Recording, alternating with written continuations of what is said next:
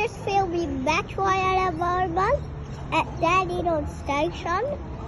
Just going to, we aren't catching this one, but I, and it's going to Flinders Street from Dandenong.